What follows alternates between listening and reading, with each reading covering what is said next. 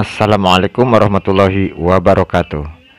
Oke sahabat cek semuanya bertemu lagi dengan channel kita Zara Abid Collection. Channel tutorial seputar data operator sekolah.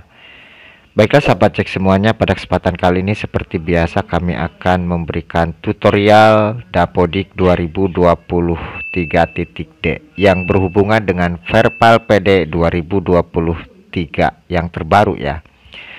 Nah yang akan kami bahas itu tentang residu alamat desa atau kelurahan ini jadi valid gitu di verbal PD-nya. Alhamdulillah ya. Nah, bagaimana cara untuk memperbaiki residu alamat desa atau kelurahan di verbal PD terbaru ini sehingga menjadi valid, teman-teman. Nah, ini terusan dari tutorial yang ini ya. Nah, kalau tutorial yang ini di sini ini kan uh, jadi residu semua ya untuk alamat desa atau kelurahan di verbal PD-nya.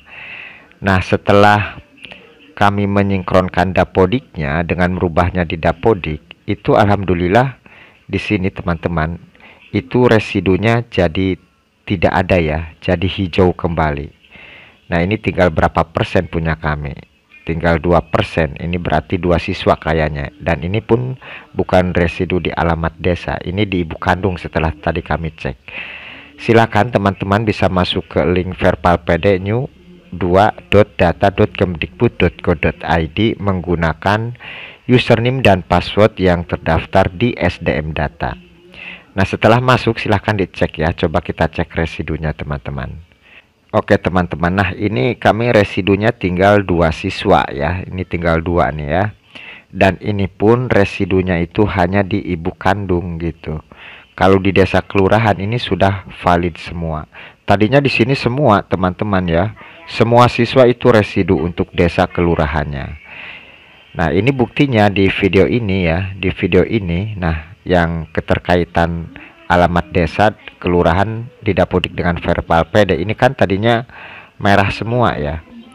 Nah, sekarang alhamdulillah ini sudah hilang semua untuk residu alamat desa atau kelurahan di verbal PD ini.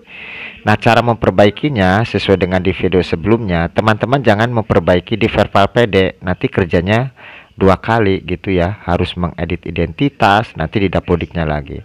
Cukup satu kali saja di dapodik ya, jangan di verbal PD.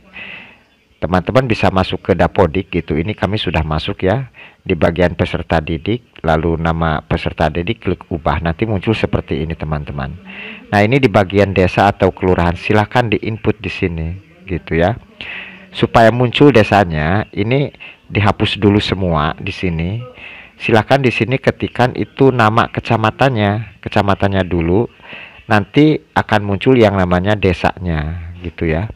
Kalau diketik langsung nama desa itu karena seluruh Indonesia akan banyak sekali. Tapi kalau kecamatan itu jarang yang sama di Indonesia. Makanya ketikan dulu nama kecamatannya baru nanti nama desanya itu akan muncul Nah, jika sudah diinputkan semua uh, untuk pesertanya di Dapodik, silakan Dapodiknya disinkronkan. Ini kami sudah sinkron satu kali ya.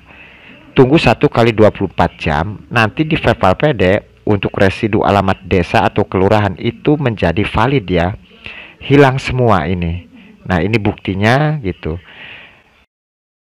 Nah, di bagian ini pun kan sekarang sudah hijau ya, teman-teman. Ini artinya sudah valid gitu untuk desa atau kelurahan di verbal PD ini.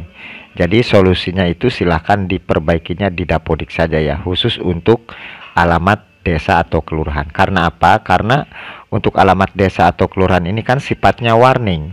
Warning itu tidak terkunci di Dapodik, jadi bisa dibetulkannya di Dapodik yang dibetulkan di verbal PD itu adalah yang terkunci di dapodik ya. Baru bisa dibetulkan di verbal PD nah itu saran kami begitu teman-teman. Oke itu saja tutorialnya. Mudah-mudahan bisa bermanfaat buat sahabat cek semuanya. Terima kasih yang sudah like dan subscribe di channel kami. Silahkan jika video ini bermanfaat bisa di share ke teman-teman yang lain.